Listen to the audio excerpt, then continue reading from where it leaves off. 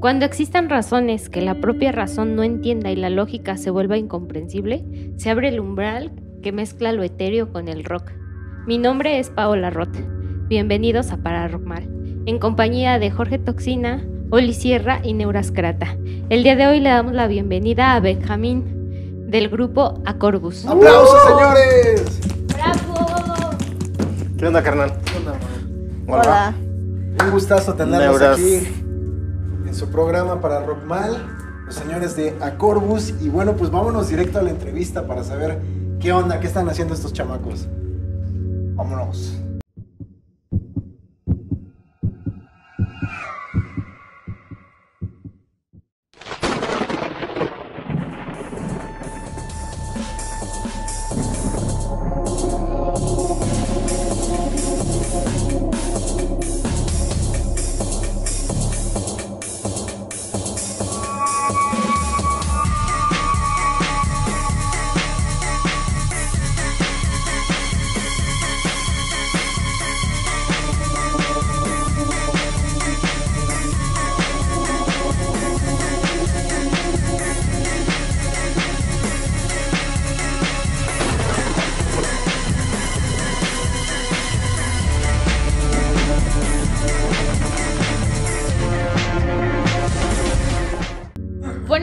Vamos a comenzar la entrevista del día de hoy y pues vamos a regresarnos un poquito al pasado para conocer la historia de esta banda.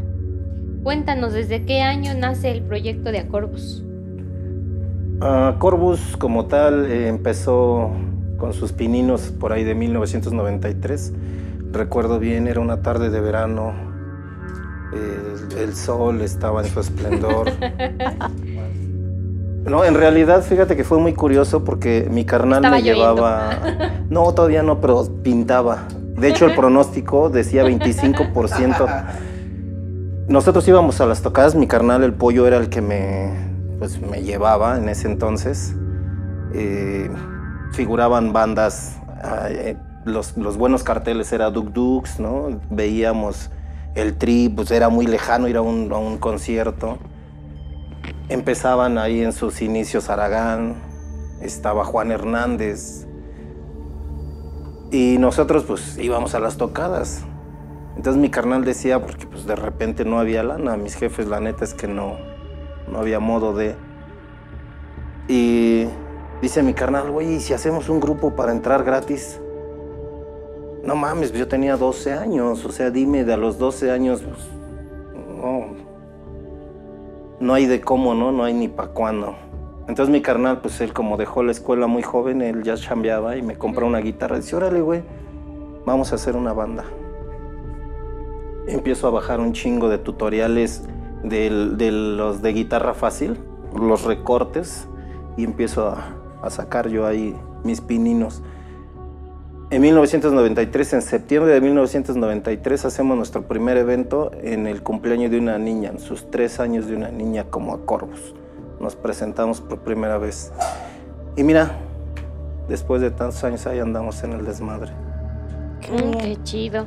Oye, y hablando ya de, de- de un tiempo después, ¿qué tan difícil o qué fácil o cómo fue su experiencia ya para poder grabar su primer sencillo?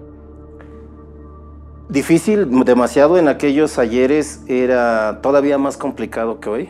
Hoy hay demasiadas facilidades, redes sociales, internet. es- es- eh, para mi experiencia te puedo decir que es Claro, demasiado claro, sí. fácil difundir tu música. En aquellos años este, realmente era muy complicado. Eh, recuerdo, voy a omitir nombres para no, para no este, manchar su memoria este, una persona se arrimó a nosotros y nos dijo, yo conozco a, a un productor que los va a grabar y la fregada, necesito mil pesos para invitarlos a comer. O sea, fueron mil varos que la neta mi carnal consiguió, se metió en broncas, todo, y, y pues solo era para invitarlo a comer. La neta es que ni siquiera se hablaba del proyecto o sea. Corbus. Y pues para nosotros era así como, no, güey, esto es algo muy cabrón, no, nosotros no, no estamos en condiciones de Sí. buscar grabar.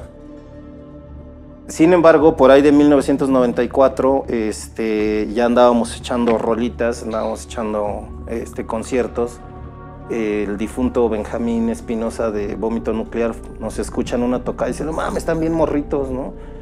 Pues te repito, yo tenía como 13 años, mi carnal tenía en ese entonces como 15.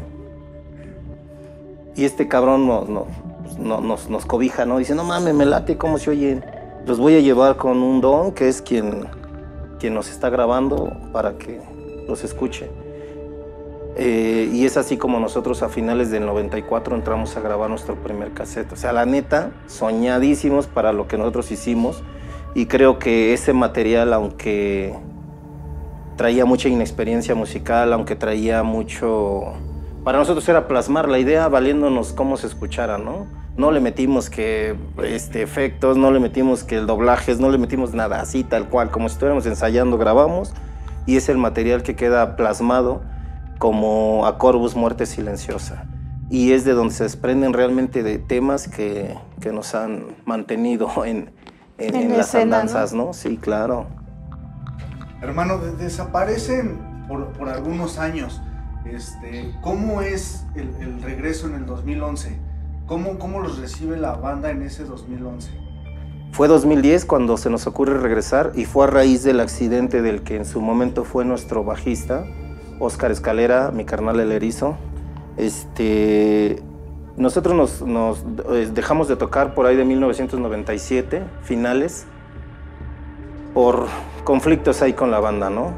Este, y pues cada quien agarra su, su camino ellos intentan seguir con Acorbus, este, lo que era eh, el Dumbo en la batería, el Erizo en el bajo, integran a otras personas e intentan seguir con Acorbus.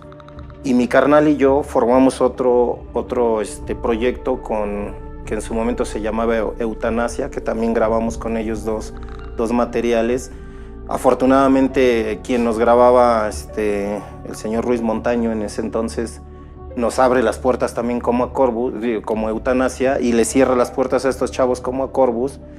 Y también les lee la cartilla, sabes que no te puedes presentar como a Corbus porque yo firmé con ellos, no con ustedes. Y entonces el nombre de Acorbus se desaparece. Ellos le ponen otro nombre a su banda y pues también se van en pic.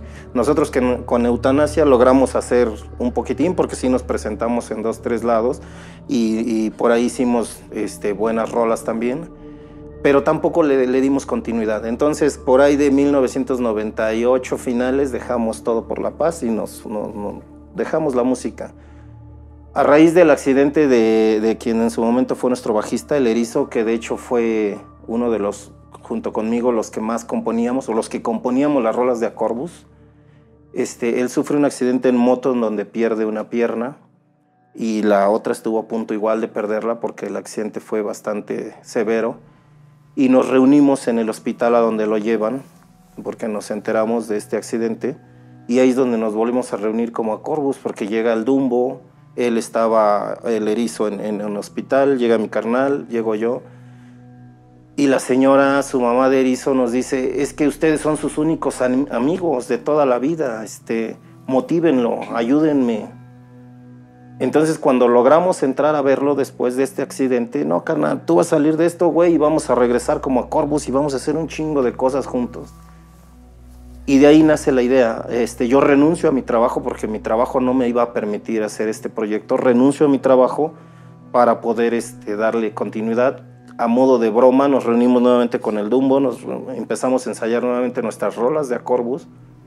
Y este, estábamos ensayando, apenas era nuestro primer ensayo y había una tocada de unos cuates, este, los correcaminos les hacen llamar, y dicen, y si vamos, güey, a ver, pues, si ya ensayamos, vamos. Llegamos, nos presentamos como Corbus y fue un... mames, la banda nos estaba esperando con los brazos abiertos, esa fue nuestra perspectiva, ¿no? Y, afortunadamente eso fue lo que nos dio la pauta para dar continuidad. El erizo nunca se, se integró como Corbus, pero creo que sí lo motivamos al, al estar ahí. Oye, y en torno al entorno del rock, ¿qué piensas del compañerismo? Y no te hablo del compañerismo de, la banda propia, sino de banda contra banda.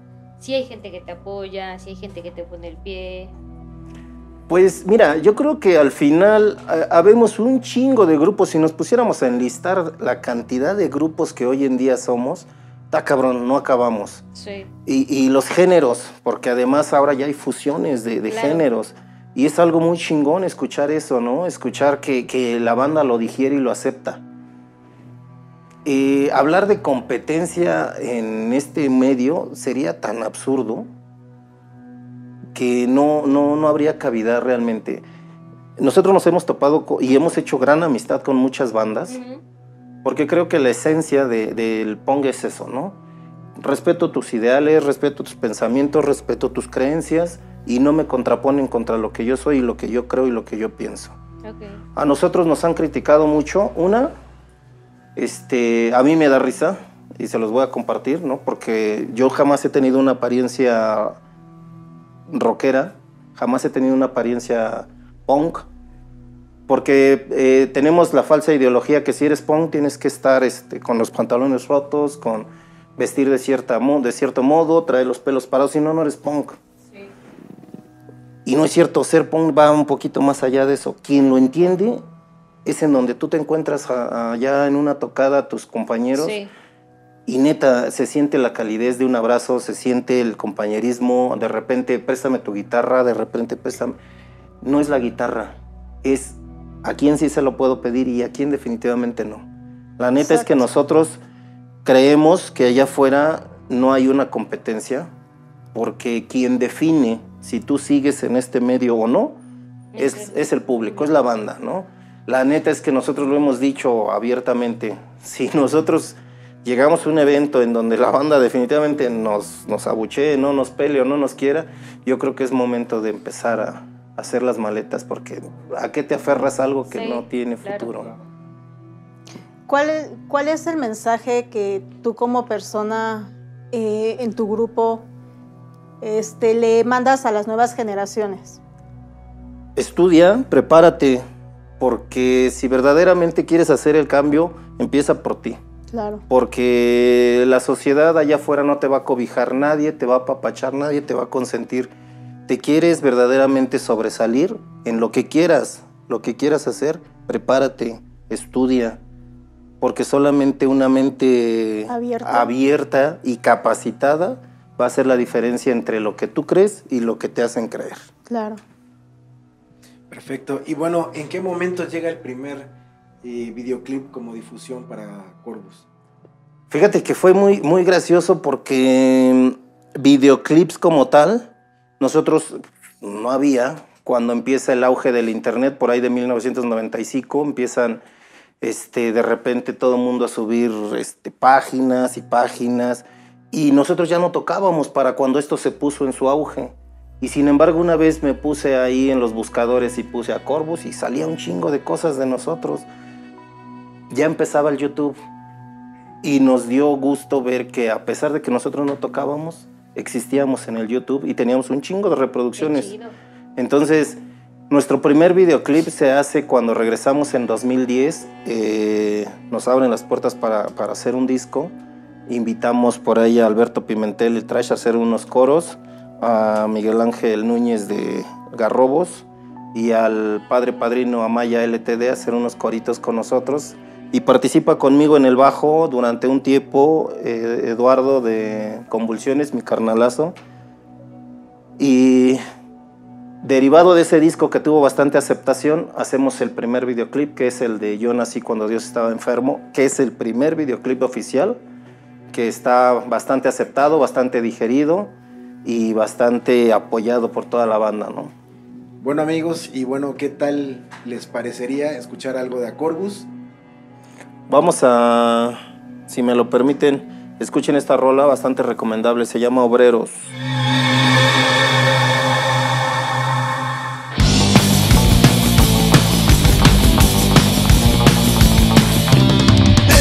Atrapados por un sueldo miserable Siempre prestan su servicio al patrón desagradable Ellos no descansan, jornada tras jornada Siempre están sufriendo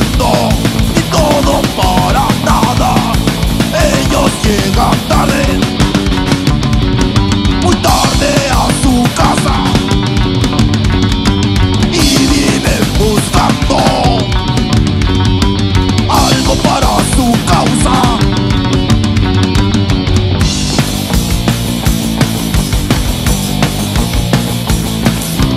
Y él llega a su casa buscando algo de paz Pero eso es imposible su novero nada más.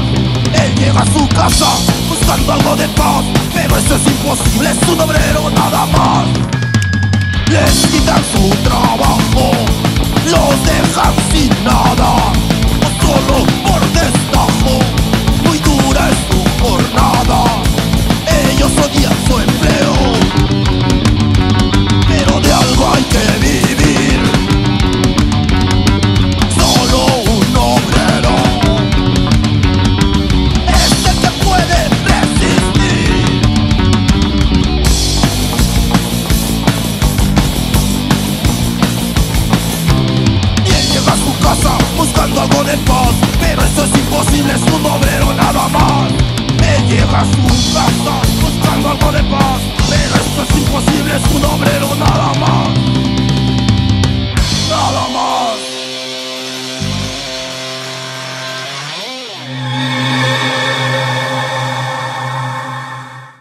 Mis amigos, ya estamos de vuelta en el estudio. Esperemos les haya gustado este nuevo material de, de lo que nos está presentando a Corvus. Y bien, Benja, ¿crees en lo paranormal? Te digo lo que te dije al principio. Dímelo.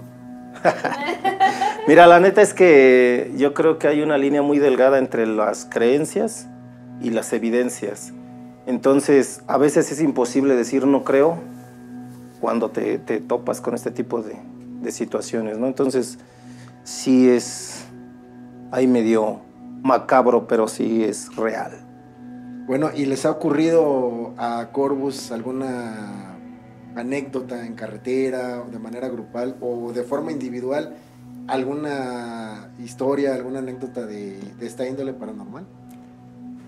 Pues mira, yo, yo este, en, en conjunto, casi como tal, como grupo, no, nunca nos ha, ha pasado. Este, eh, pero si me lo permites, voy a platicarles algunas Claro, experiencias que, que yo sí he tenido en relación a esto. Ah, si me pusiera a contarles son un chingo, ¿no? Pero voy a agarrar las, las 25 más relevantes. este, fíjate que en, es yo atraigo, yo atraigo al bien. Yo atraigo al Espíritu Santo. Eres como un imán, tú lo jalas. El- fíjate que en donde, en donde vivía con, con, con mi ex esposa y mis hijos, en la casa sucedían cosas como medio extrañas. Les voy a platicar en una ocasión. Teníamos, en ese entonces mi niño, el, el medianito, estaba pequeñín, apenas andaba medio queriendo caminar. Y yo traía un reloj carísimo de marca, de 100 pesos que me costó en el tianguis. Y estoy dormido y de repente siento que me empiezan a jalar el, re- el reloj. Y lo veo y pues veo el pequeño cuerpo de mi niño y lo quiero levantar y le digo, hace un chingo de frío, súbete. Lo quiero cargar y no puedo. Y en el momento que lo empiezo a jalar lo siento pesadísimo. Y me volteo y le digo, bueno, pues entonces quédate. Y veo cómo se echa a correr. Pero al momento de que volteo, a lo primero que agarro al, al voltearme es el cuerpo de mi hijo, ¿no? Entonces dije, en la madre, en la madre. Y intento voltear de nuevo para ver si lo que había visto era real. Y veo cómo vuelve a pasar corriendo. Ya no quise hacer pedo, ya no quise hacer panchos, ya no quise decir nada. Pero al otro día que me levanto temprano, pues ya no está mi reloj carísimo, cabrón, dije yo. O sea, además de pinche lo que haya sido, o sea, era rata, güey. Y no veo mi reloj tirado. Entonces le platico en ese entonces a, a- a mi esposa y le digo, ¿qué crees que pues pasó una situación así muy cabrona? Y me dice, yo no había querido decir nada, pero efectivamente he visto que aquí pasa corriendo un niño. Le digo, no, pues está cabrón, pues hay que hacer algo, ¿no? Porque pues, al rato va a venir el papá fantasma y nos va a armar un mega desmadre. Total, dejémoslo así. En una ocasión me pongo a tomarle fotos a mi niño. Tengo una foto en donde sale una personita detrás de la cortina. Y cuando la estaba analizando, viendo en una computadora, se acerca un, un compañero y me dice, no mames, ese niño sale medio borroso, güey. Le Le digo, "Pues, por lo menos no soy el único cabrón que se da cuenta que, que- que existe.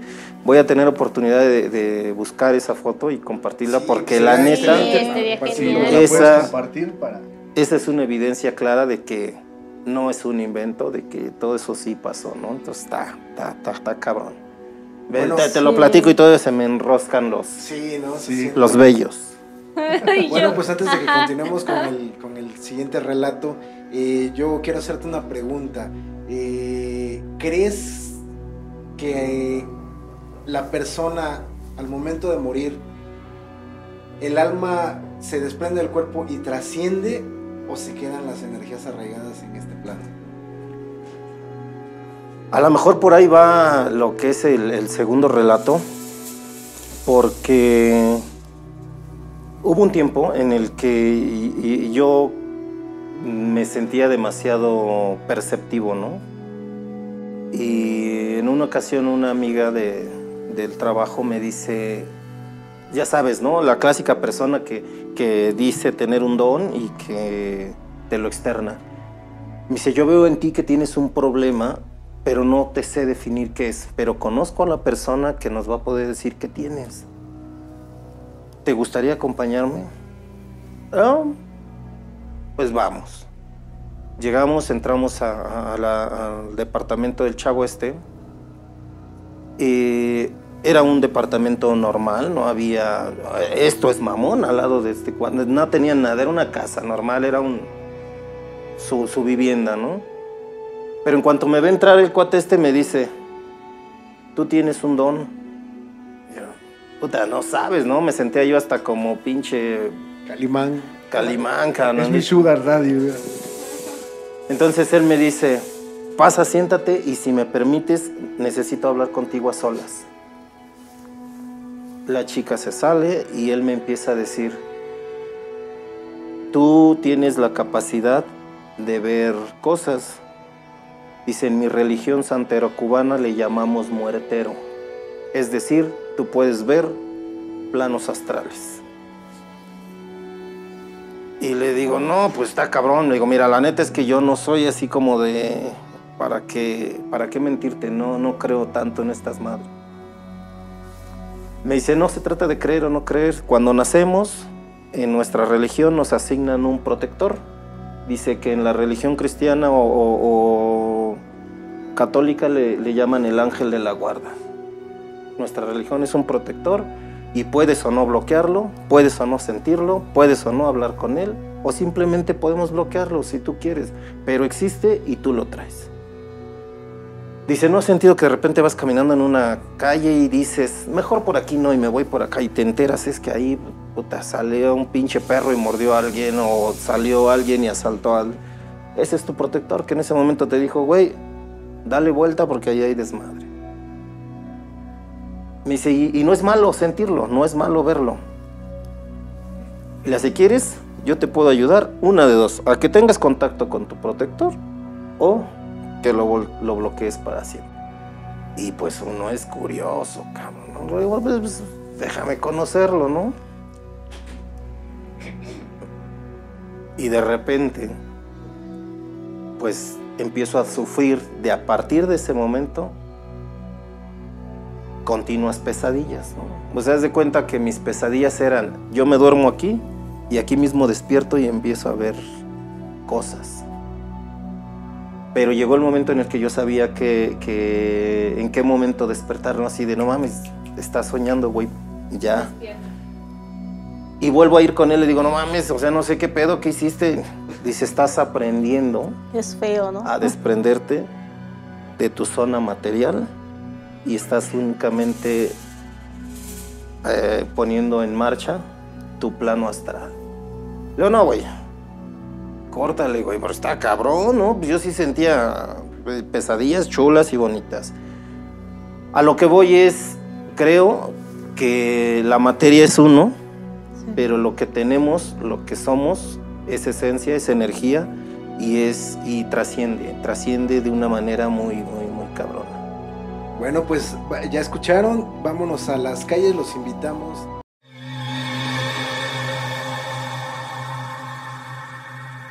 ¿Qué tal amigos? Soy su amiga Oli Sierra, nos encontramos en las calles. Veamos qué opina la gente sobre las almas arraigadas. ¿Su nombre es? ¿Mío? Leonor. Señora, ¿usted qué opina sobre las almas arraigadas?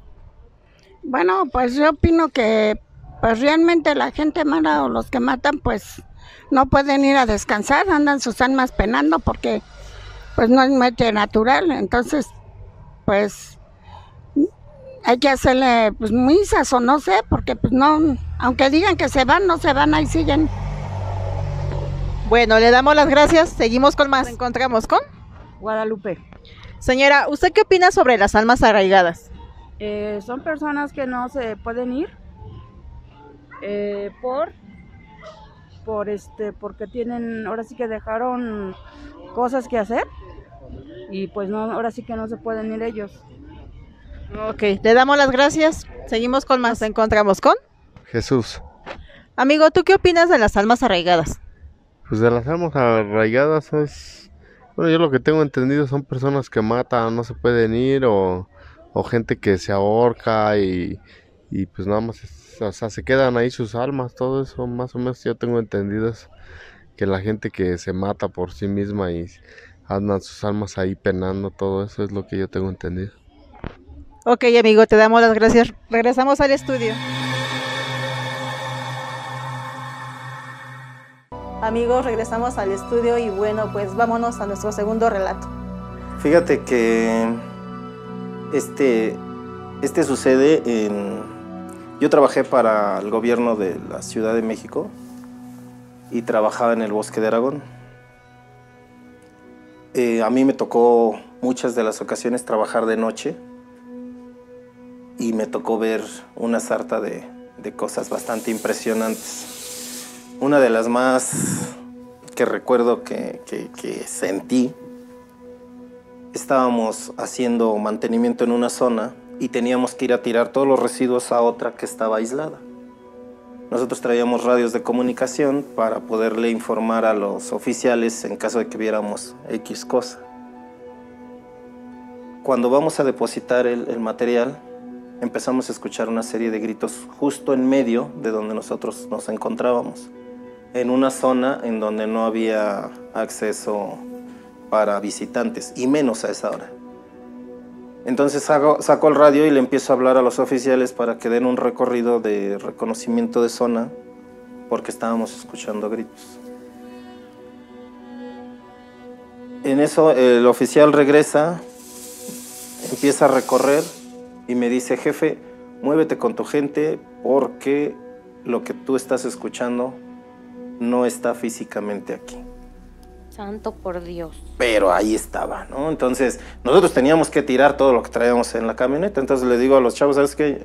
Eh, en chinga hay que empezar a tirar porque pues yo no quiero investigar qué hay, ¿no? Empiezan a hacer el, el tiro de, de las cosas y los gritos empiezan a ser más fuertes, cada vez más fuerte. Ahí en el mismo punto donde estábamos, como si nos estuvieran gritando aquí donde estamos todos nosotros. Y uno de ellos dice, güey, ya no puedo. Dice, estoy paralizado del pinche miedo. Le digo, ¿saben qué? Pues vamos a la chingada. Súbanse a la camioneta y vámonos. Con todo y la pinche basura, vámonos. Porque el entorno en el que se vive, en el momento en el que se vive y en el, en el hecho en el que sabes que realmente los gritos no provienen de nadie que físicamente puedas ver, pues te, hiela la sangre, ¿no? Y la neta es que súbanse y vámonos. Cuando vamos en el camino, le vuelvo a pedir al oficial, necesito que recorras nuevamente la zona porque a huevo que hay alguien, están gritando, no mames, eso no, no, no se puede inventar.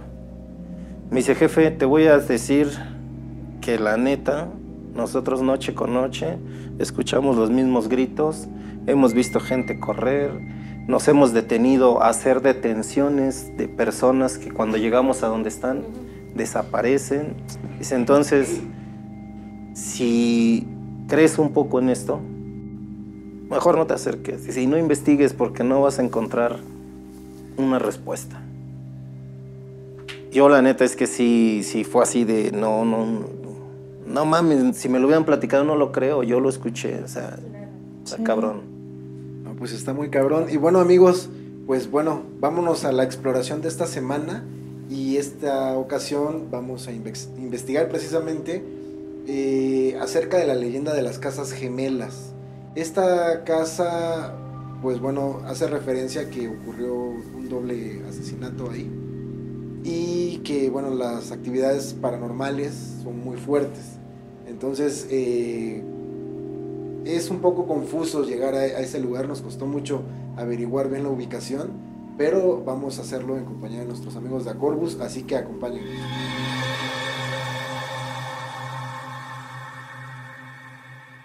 Hola amigos, pues el día de hoy nos encontramos haciendo nuestra exploración aquí en el Ajusco, como les dijimos y les prometimos en las casas gemelas, eh, donde la leyenda cuenta que en esas casas eh, un tipo, un hombre, llevó a unas gemelas y las asesinó. Entonces las niñas hacen presencia y pues queremos ver si es cierto. Entonces vamos a ver cómo nos va. El día de hoy nos acompañan nuestros amigos de Acorbus. Ya de ahí ya dio miedo. Vamos a ver qué es lo que nos depara el día de hoy.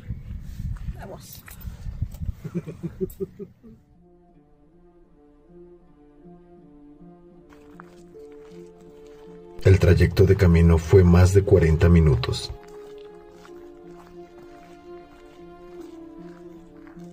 ...3.33 de la madrugada... ...nos internamos en el bosque en búsqueda de las casas gemelas.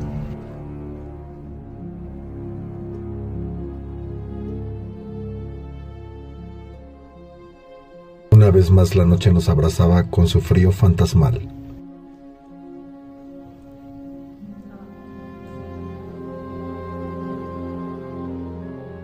Llegar a las casas gemelas, el olor era bastante peculiar. Olía a muerte, a soledad.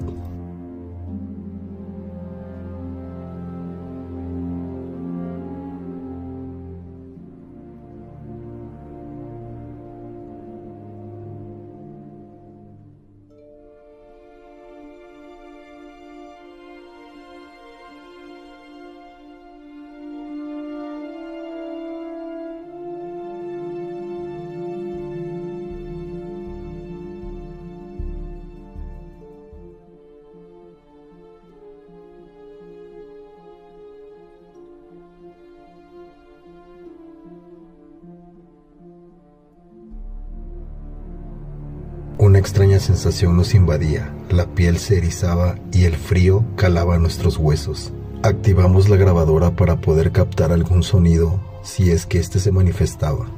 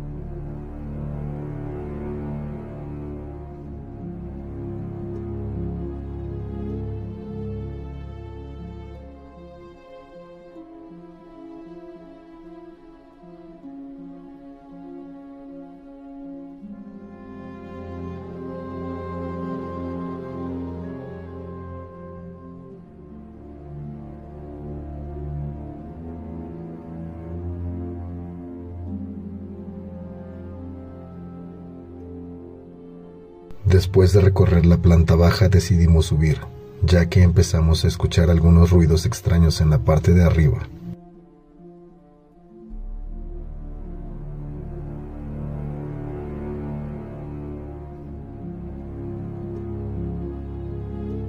Preste mucha atención porque justamente antes de subir la primera manifestación se hizo presente.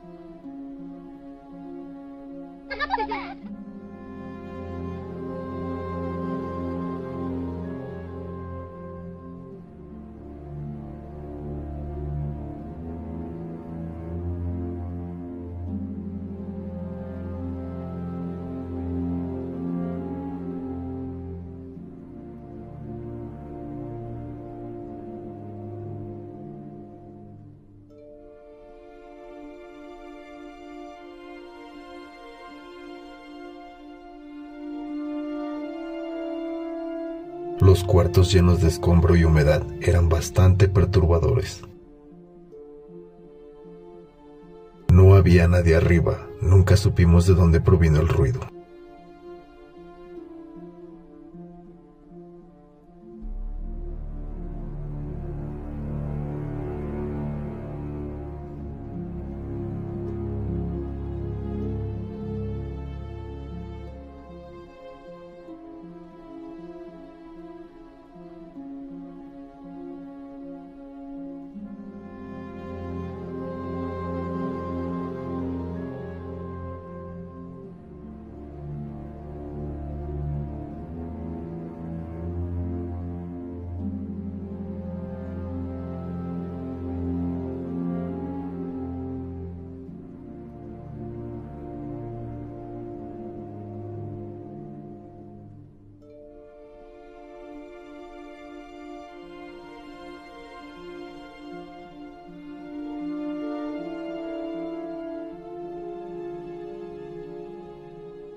Atención al extraño movimiento de este pedazo de rama.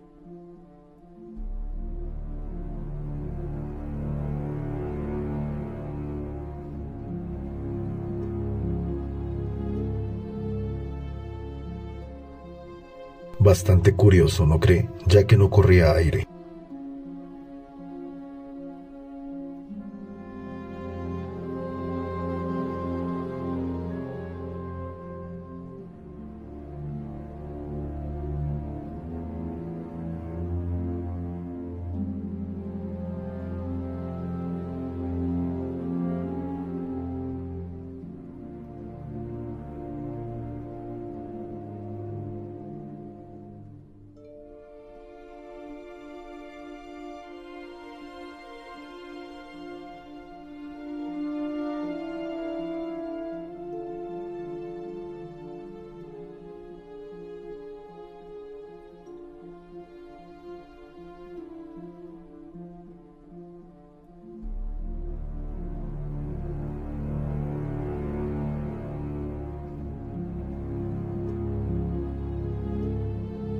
Ahora ponga atención a esta plasmación, bastante perturbadora. Nuestro equipo tomó fotografía a esta plasmación y vea el mensaje escrito en la pared. Pareciera que se trata de la sombra de una niña colgada.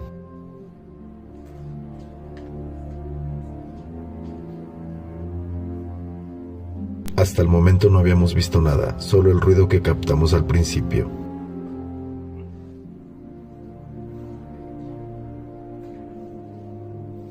Los nervios empezaban a inquietarnos.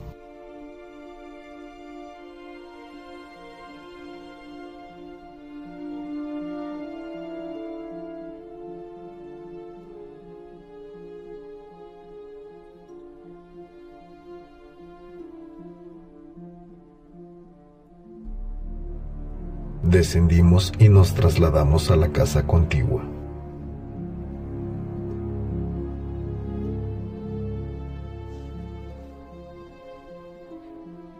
Después de examinar la planta baja de la segunda casa, subimos las escaleras. Aquí el olor era insoportable, olía a excremento y podredumbre.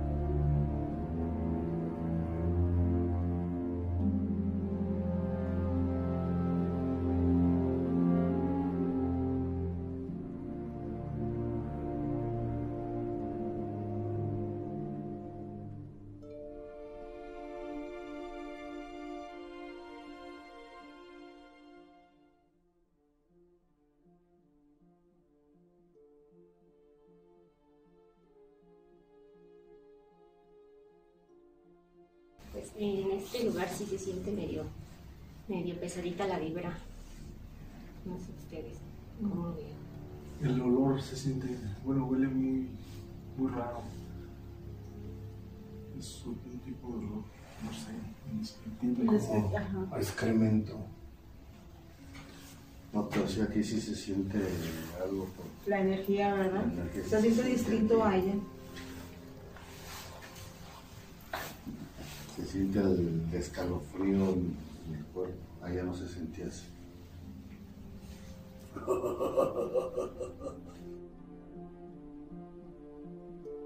Tratábamos con buen humor el hecho de estar ahí, para que de esta forma el miedo no nos embargara.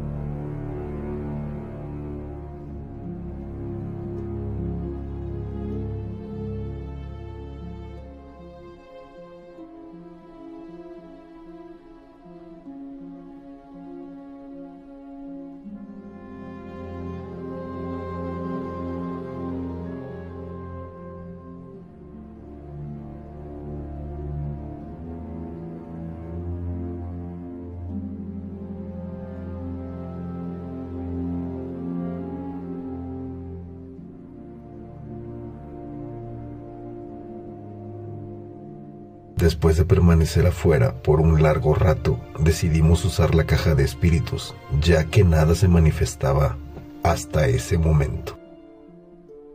Hola. ¿Hay alguien aquí?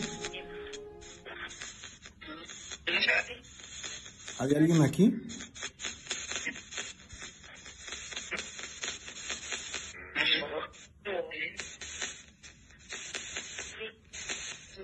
¿Quieres comunicarte con nosotros? Hola.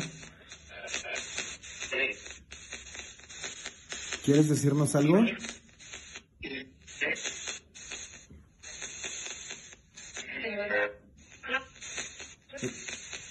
¿Son las niñas? ¿Están aquí, niñas?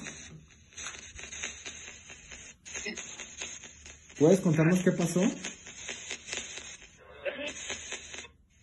¿Qué, qué sucedió aquí? Cabe destacar que en ese momento la psicofonía no fue audible para nosotros, sino hasta que hicimos la edición. Hola.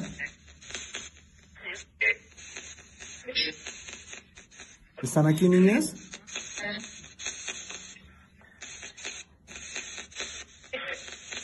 ¿Niñas? ¿Pueden manifestarse? Al sentir que no escuchábamos nada, decidimos quedarnos a oscuras, totalmente en silencio. Vea usted lo que aconteció.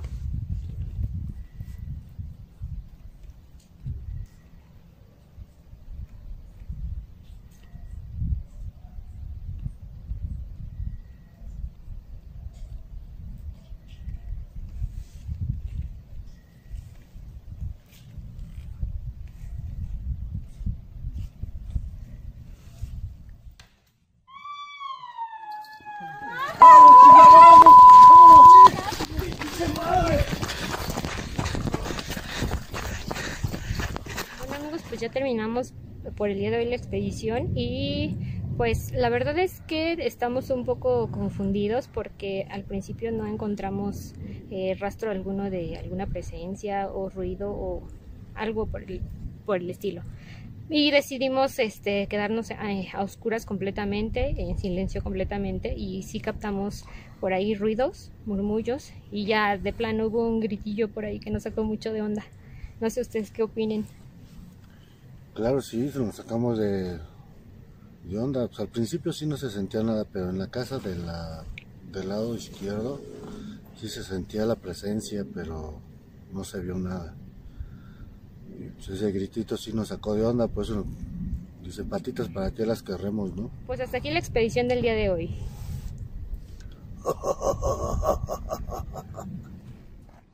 Bueno amigos, esto ha sido todo por hoy. Esperamos que el programa haya sido de su agrado.